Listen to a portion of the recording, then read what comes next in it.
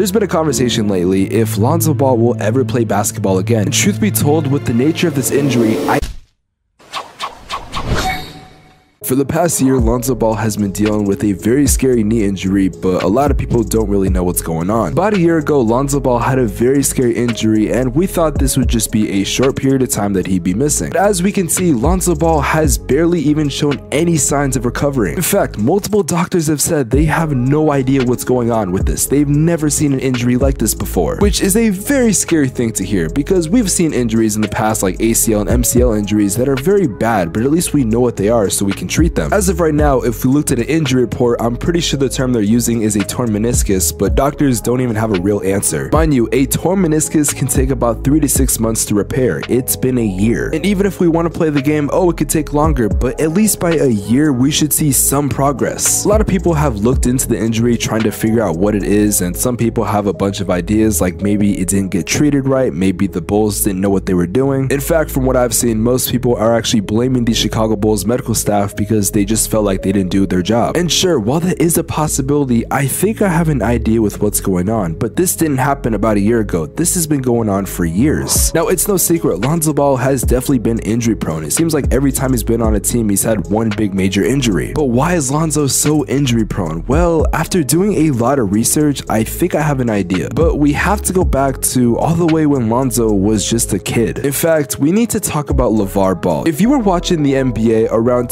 2017 or you were just on the internet in general, you probably know who LeVar Ball is. It seems like every week we had some storyline or some quote that he said that was the most insane stuff you could have heard. Now, at the time, I think a lot of people just assumed that LeVar Ball was on the perk 37, but it became very apparent as the years went on that he didn't actually believe these things and it was more of a marketing thing, which definitely is a smart thing to do. Now, the biggest reason why LeVar Ball was famous is because he was hyping up his sons and saying all these ridiculous things that people didn't know if they were going to actually happen. I mean, it's pretty simple. The more famous LeVar got, the more famous his sons got. And as they started to get more famous, we started to learn more details about the boys growing up. And we were learning how LeVar Ball was training his sons from a very young age. But the tactics he was using were a little bit different compared to your normal coaches. For example, he would have his sons play older competition. All three of the sons would be playing against junior high teams. And mind you, Melo, who was the youngest, was in kindergarten playing against way older kids. But that's not the most glaring. I feel like some coaches do that and it's kind of an aggressive method, but it's not that detrimental. But something that can be very dangerous to someone's growth is the use of weights and not using them properly. Many workout videos of Lonzo Ball have came out over the years and we can see that he has some of the worst form in weight training that I've ever seen. And having terrible form, especially for a very long period of time, can, well, lead to injuries. Now maybe some of you actually work out a lot and in the comment section you might say, oh, I don't think this plays as big of a factor, maybe it hurts him a little, but not that much. But what I think hurt Lonzo the most is AAU basketball. Now, AAU basketball is some of the most important basketball you can play as a kid, especially if you want to make it to the NBA. But we're starting to notice a pattern with injuries, and they're all lining up to one common factor. Players like Lonzo Ball and Zion Williamson are two players who have played a lot of AAU basketball. And orthopedics have done a lot of research, including Baxter Holmes, who actually is a writer for ESPN, and here's what he found. They discovered that players who specialized in one sport and played year-round AAU basketball would suffer from a lot more injuries compared to others. But how much of a risk is it compared to others? Well, about 125%. And as someone who knows a lot of people who have played AAU basketball in the past, they've told me it's like working a full-time job. You got practices in the morning, you have practices after school, you might even have a game. There's so many things that AAU players have to do. So let's think about it. Who has played AAU basketball, which according to science can make you get injured more than other players? Who has not only been working out ever since he was 12 years old, but he's had some of the worst form you can see? And who is the player that has been playing basketball at the YMCA ever since he was 6 years old? So who's the player? Well, it's Lonzo Ball. Everything is lining up that from Lonzo's development, it has set him up for failure. Because like I said earlier, Lonzo Ball has been very injury prone over his career. And the unfortunate reality is that this isn't something you can just reverse. These are effects that Lonzo is going to be dealing with for his entire career. There's no real way to stop this. And this injury that Lonzo has, I think this this is something that was supposed to happen. Now, do I think his injury should have been this bad? Well, I really don't know. And especially the fact that doctors have no idea what's going on, that scares me even more. But maybe this theory isn't right. Maybe Lonzo Ball, he trained a lot as a kid, but that's not the reason why he's been injured. Maybe that study, all the stuff we found out that LeVar told us was either a lie or it's just a little bit fabricated. Maybe there's even the possibility it's just a coincidence and it has no relation. Well, I have another set of theories that I want to go over. I was looking on Reddit for answers. I know, what a great way to start a conversation. But someone pointed something out that I thought was very interesting. Someone said that they started to notice a pattern with the Chicago Bulls and them mishandling injuries. Derrick Rose, Luol Deng, and now Lonzo Ball, these are all examples of that. Which now that you start to think about it makes a lot of sense. Also, I don't know if this is just my perspective, but I feel like the Chicago Bulls are always a team that are constantly getting injured. I also found a comment on a YouTube video when I was doing some research. This person said they're a professional athlete and when he talked to Otto Porter, who used to play on the Bulls, he told me that the Bulls fucked up his diagnosis and that they made him play on a messed up foot. I want you to take that with a grain of salt because I don't know who this guy is. We don't know if he's telling the truth, but it is very interesting that the Bulls have a very big history when it comes to medical problems for their players. Now, at the time of recording this, it is apparent that Lonzo Ball is going to be shut down for the entire season. In fact, this came out about a couple days ago. And this really does suck for the Bulls because I think losing Lonzo Ball exposed a lot about the team. Last season, the Chicago Bulls were consistently a high seed in the Eastern Conference. In fact, at one point, I think they were the one seed. And I noticed that when Lonzo left the team due to injury, the Bulls dramatically fell down in the standings. And if you look at the stats, you're not going to really be able to tell. You might say, oh, Lonzo's just a rotation player, but that's a lie. If you watch the game, you could see Lonzo Ball was easily a difference maker on the court. Having Lonzo on your team makes the offense a lot faster, and that was something that the Bulls really thrived on. Without Lonzo, it's being exposed that Chicago has a terrible half-court offense.